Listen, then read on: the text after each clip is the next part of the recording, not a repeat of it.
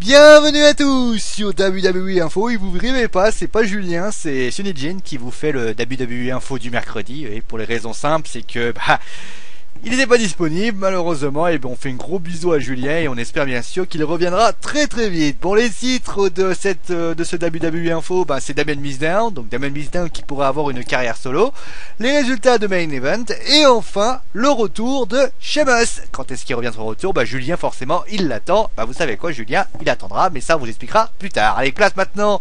Eh bien la double du mise, beaucoup d'entre vous ont sans doute été déçus par la perte des ceintures de la team Mise et Miss Down, eh bien rassurez-vous, cela a une raison. En fait, la WWE va sans doute séparer la team dans les prochaines semaines pour lancer un gros push à Damien Mizdown. Et cela devrait arriver dans peu de temps, puisque si vous avez suivi WWE, Damien Mizdown a déclaré qu'il avait monté un film sur sa vie et la collaboration avec le Miz. Et ce film doit mettre le Miz dans l'embarras et ainsi entraîner le face turn de Damien Mizdown. Notez d'ailleurs également que ce face turn semble déjà ancré dans la tête des fans quand on voit les ovations réalisées à son encontre. Allez, place maintenant au résultat de Main Event où 4 matchs ont eu lieu. Les Los Matadores ont battu la team Gold et Stardust suite à un roll-up de Diego. Les Ascension ont encore battu deux Jobbers suite au Follow Man.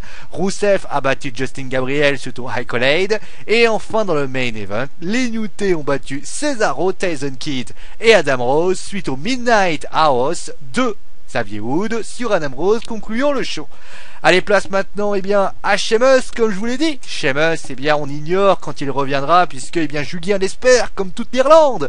Mais il faudra être patient. En effet, il a été annoncé que Sheamus ne devrait pas participer au House Show du 8 avril 2015. Et s'il n'y a pas participation, cela signifie que sa blessure est encore loin d'être de l'histoire ancienne. Il faut donc en conclure que le Celtic Warriors ne devrait pas être là au Royal Rumble, et encore moins à WrestleMania. Il est à noter également que Sheamus pourrait dès son retour faire un heel turn et ainsi permettre à son personnage d'obtenir un nouveau souffle. Allez, c'est la fin de WWE Info. On se retrouve donc demain avec les résultats de NXT, l'adversaire de Bray Wyatt, et un petit Raw versus SmackDown. Allez, c'est mon dernier mot parce que je l'ai dit. Allez, ciao à tous